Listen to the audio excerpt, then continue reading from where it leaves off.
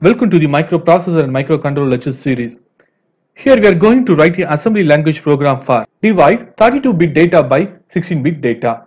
What is our problem? Write an assembly language program to divide 32-bit data by 16-bit data. First we are going to analyze our problem.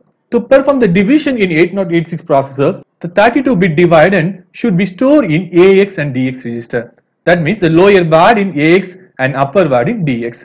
The 16-bit divisor can be stored in this register or memory location. After the division, the quotient will be in AX register and remainder will be in DX register. This is our problem analysis. In this example, we are going to take this memory location is contain the value of that means 1100 is contain the value of 0A and 1101 is contain the value of 58 and 1102 is contain the value of C2 and 1103 is contain the value of 71. It is a dividend. Okay. Next, the divisor is 1104 is contain the value of F2 and 1105 is contain the value of F6. Okay. This dividend is 32 bit. This dividend is 32 bit and divisor is 16 bit. Now we are going to perform the division in between the two number. The result is the quotient can be stored in this 1106 and 1107 and the remainder can be stored in 1108 and 1109. In this example, the quotient can be stored in this AX register. This value can be moved into the particular memory location. The remainder value is present in this DX register. That value is moved into the particular memory location. Okay, clear? Now we are moving to the algorithm.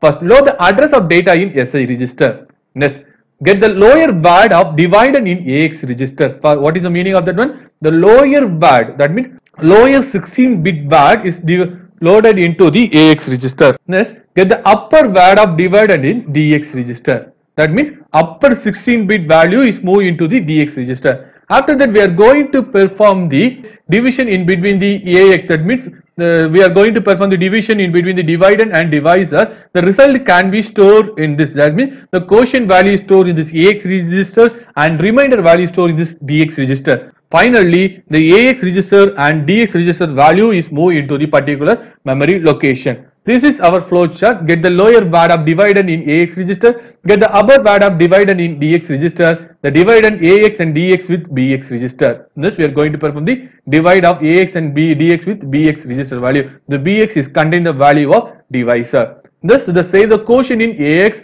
and remainder in DX. Finally, this AX and DX value is moved into the particular memory location. Okay, this is our program. First, initially we are going to initializing the our starting address. This is our starting address. Is 1100 is the starting address. This value is 1100 is moved into the SI register value.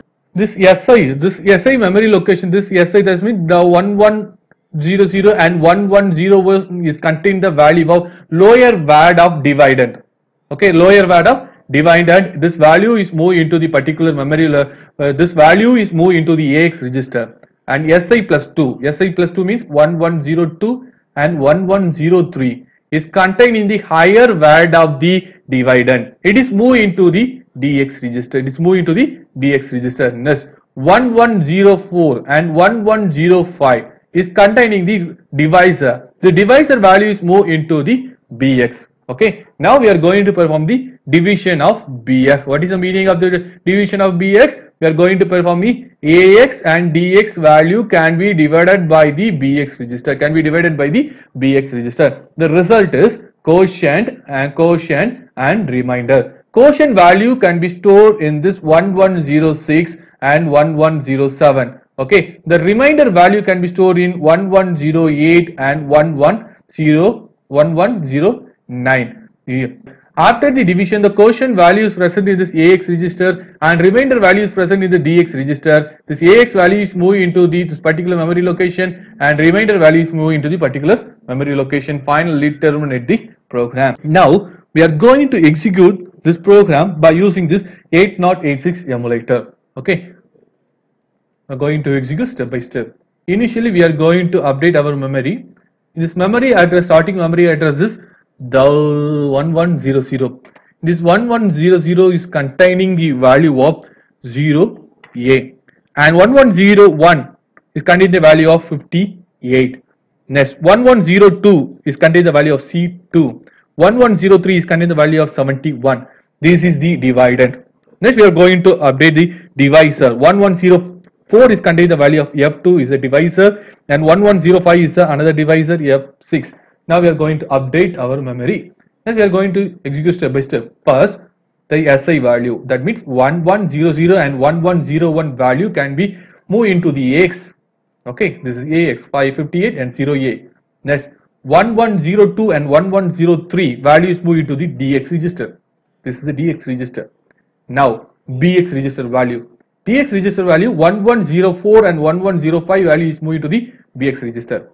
BX register. Now we are going to perform the division operation in between the AX DX by BX. The result can be stored in this AX and DX register. The Result can be stored in this AX and DX register. The quotient value is stored in this AX register and the remainder value can be stored in this DX register. This AX register is moved into the 1106 memory location and DX register value is moved into the 1108 memory location 1108 memory location. This is our division program. Thank you.